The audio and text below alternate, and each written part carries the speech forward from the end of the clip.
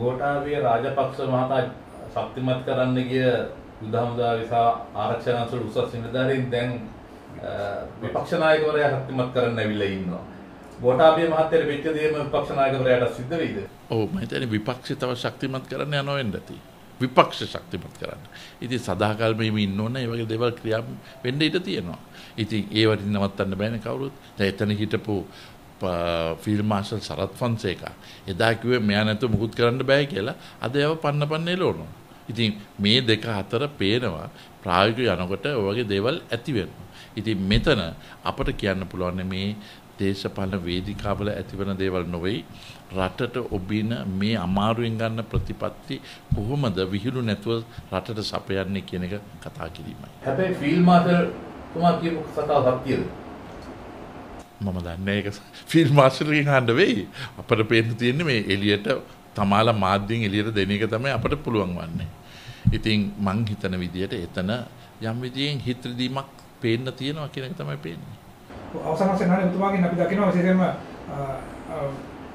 සරත් පොන්සේකමතුමා එජාබේට යනවා කියන කාරණයක් මතුවෙනවා ඒත් එක්කම දැන් මේ වෙනත් පක්ෂ සාමාජිකයන් ආගමනේ. ඔවුන්ගේ පැමිණීම සම්බන්ධව මොන වගේ මතය සිටින එහෙම කට්ටිය පැමිණෙමින් ඉන්නවද? සාකච්ඡා පවත්වා තිබෙනවද? මොනවද තත්ත්වයක් තියෙන්නේ?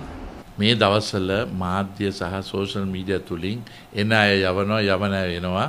ඉතින් ඒ නිසා මං හිතන විදිහට ඊට වැඩිය අපට ජනතාවට උදව් කරන්න පුළුවන් හැම හොඳ පුද්ගලයෙක්ම අපි එකතු කරන්න පුළුවන් වැඩපිළිවෙලක් ගෙනියනවා. ඒක තුල රටට ඔබින මට්ටමට සහ ජනතාවට වාසි ලබා ගන්න පුළුවන් විදිහක වැඩපිළිවෙලක් තමයි කරන්න අවශ්‍ය වන්නේ. ඒකෙන් එනවා යනවා නොවේ රට දියුණු කරන්න පුළුවන් මේ වගේ අඝාතයකට වැටලා තියෙන අවස්ථාවක ඇති කරන කට්ටිය තමයි අපි බිහි කරන්න ඕන වෙන්නේ. ඒ සම්බන්ධයෙන් අපි තමත් ඕනේ කමින් එකට හිතන්න පුළුවන් කණ්ඩායම් එකතු කරගෙන යනවා. ඒකේ අපිට පේනවා සීමාවක් නැහැ. හැමදේනම කැමති එක. මොකද පේනවා බොරු අඩු කරලා යන ගමනක් පේන්න තියෙනවා.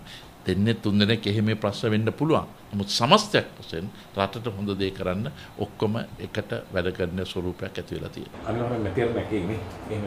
අනි මේ තවත් එකක් තමයි තියෙන්නේ මේ 2022 වර්ෂයේ ඉඳන් මේ තියෙන්නේ වෙන වෙන කතා. දැන් 2023 එනකොට කිව්වේ ඡන්දයක් තියන්නේ නැහැ කියලා.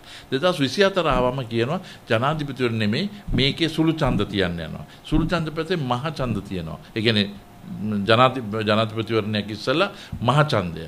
දැන් කියනවා එකක්වත් තියන්නේ ජනාධිපතිවරණකුත් තියන්නේ මහචන්දෙකුත් තියන්නේ. මේ ඔක්කොම කියන්නේ මොකෝ මේ යම් විදියකින් විපක්ෂයට තෘප්තියක් ලැබෙනවා මේ ඡන්දේ තියෙන තාක්කල් පොඩි ජොලියක් ලබා ගන්නවා. ඊට පස්සේ සැබෑ ප්‍රතිඵල වුණාට පස්සේ ඒතොර විපක්ෂ ඒ සම්බන්ධයෙන් කියන්න පුළුවන් දේවල් නැතුණාට පස්සේ මේ විහිළුව නැති වෙනවා. ඉතින් මේ නිසා අනිවාර්යයෙන්ම ඔක්තෝබර් මාසේ 2024 වෙනකොට ඒ ජනාධිපතිවරණයක් තියෙනවා.